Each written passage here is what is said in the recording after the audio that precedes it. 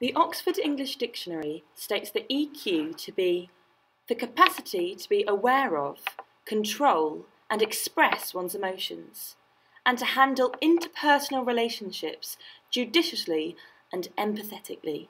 To gain a better understanding, it can be split into two large umbrella categories self and social. Self is the awareness and manipulation of your own emotions, whereas social is the ability to comprehend someone else's emotions, the root of these, and then react accordingly. From there, each of these terms can be broken down into three further categories. Competence, this governs the awareness and management of emotions. In a social sense, this is the factor that leads to improved quality of relationships. Awareness, are you able to accurately perceive emotions and understand the root of them? And then management, the ability to use said awareness to manage interactions successfully. Or for self, the ability to positively direct your behaviour. So, physically, what goes on when you engage emotional intelligence? EQ is the communication between your emotional and rational brains. Primary senses must travel to the front of your brain before you are able to think rationally about your experience. However, they first travel through your limbic system, where emotions are generated. This gives an emotional reaction to events before our rationality is triggered. A high level of EQ requires effective communication between these rational and emotional centres of the brain, decreasing the time that you aren't rational. Let's see this skill in practice with some of our case studies by our trained actors. Steve, what do you think you can bring to our business? This business will greatly improve with my input. I will get my tasks done quickly and efficiently and to the best of my ability. I feel that being in this business, my knowledge and my skills can be taken further, increasing my abilities as an engineer.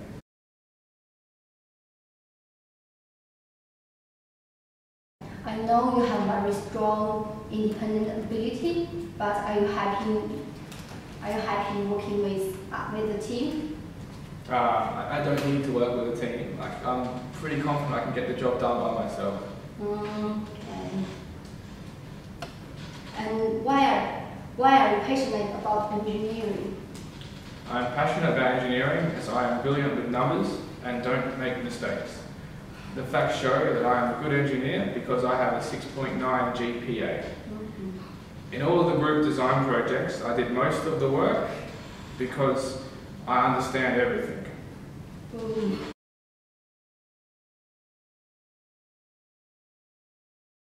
Can you solve and explain the problem on board? Uh, sure. Super duper easy.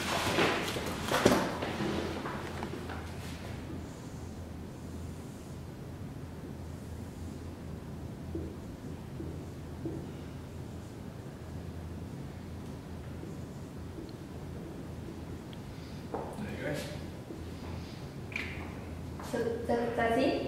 Uh, is, that, is that not correct?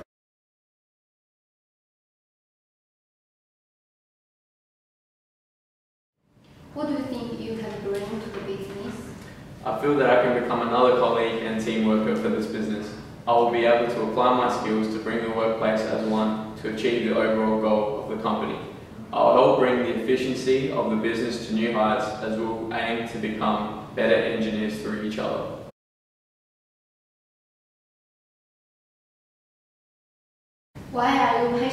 About engineering? Although my skills in engineering can be improved, I have gained a passion for understanding the building and design processes and the regulations that come with it. I am eager to communicate and work in a team to make sure projects are, are completed efficiently, minimising waste and materials, bettering the environment and client demands.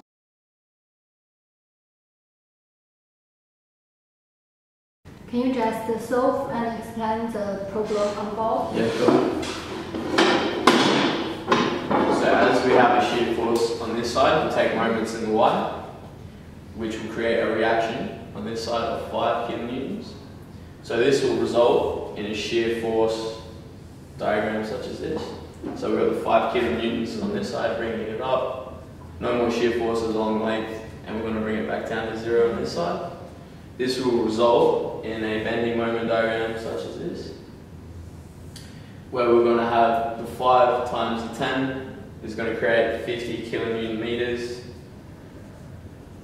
and this will be the max, max moment experienced by the beam.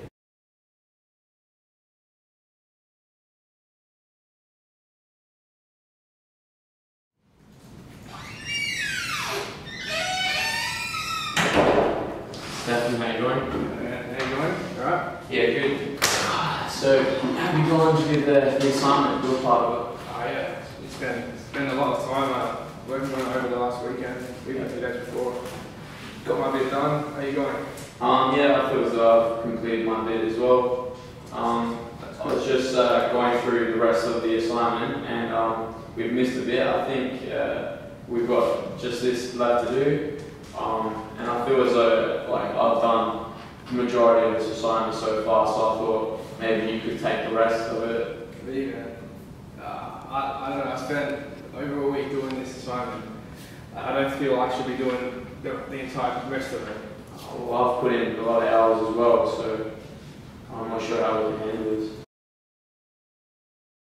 What happened? What are you guys argue, argue about? Well, we've each done our own bit in the group assignment that we have, and we feel as though we've done the majority of the work, each of us. Mm-hmm. And there's still this last bit that's, that still needs to be completed, and we're not sure who should do it. Mm-hmm. Yeah. Oh, let's say how much left. Yeah, so it's just not there. So. Mm, not too much. If it's that hard, I will do the rest of the assignments myself. It's easy. Oh, okay. Ah, No worries. Thank you, thank you.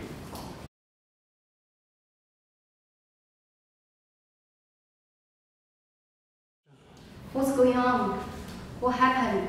Um, well, me and Stefan have um, each done our own bit in the assignment, and uh, we feel as though we put an equal amount of work, and we've just missed this last bit that we haven't done, and we're not sure how we can go about it. Like neither of us want to do it. Let's see how much left. uh, so it's just that bit there. that we still need to do, Yeah. Oh, we can separate it equally to three parts. Okay. Ste- Stefan can do the That bit there. one, Yeah. Okay. and yeah. then me do the That there. do the Yeah. Okay. middle. I Yeah. will do the left. That's good. Okay. That's what you- I'm happy to do that. Yeah, equal amount. That's fair enough. That, that solved that problem, thank you. Thank you.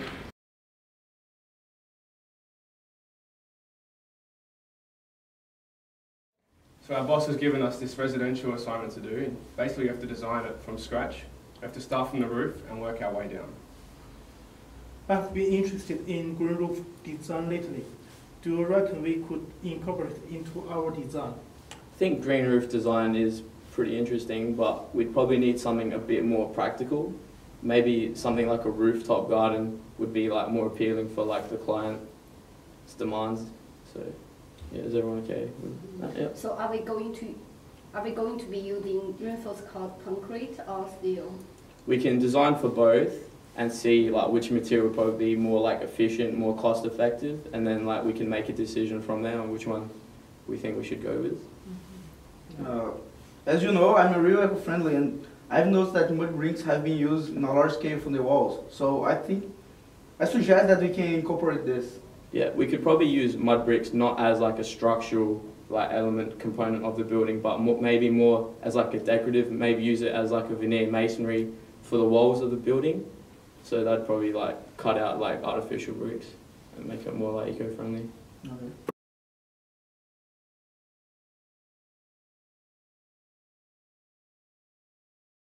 Okay, guys, we have a residential project that um, needs to be done. I've already come up with like a timeline of when things need to be done wa- by, and I've already set everyone's tasks of what is required to do. Alright. Do you know if we're going to be using um, reinforced concrete or we're going to be using steel? Uh, I think reinforced concrete is the way to go. I personally believe it is the better material to use, and I've already done some previous calculations, and I've found that it's the safer option. Okay. Uh, and what do you think about the mud bricks? Because I've done some studies and I think that's going to be really good if you incorporate this in the project. Mm, no, I think it would be better if we just stick to traditional masonry. I think um, it would be more appealing for like customers, and gain like more attraction, and it would look more modern in design as well. Uh, but have some study that prove that's better if you use this in the project. Nah, I think sticking to traditional masonry is better. I Okay. think, yeah, my own personal opinion.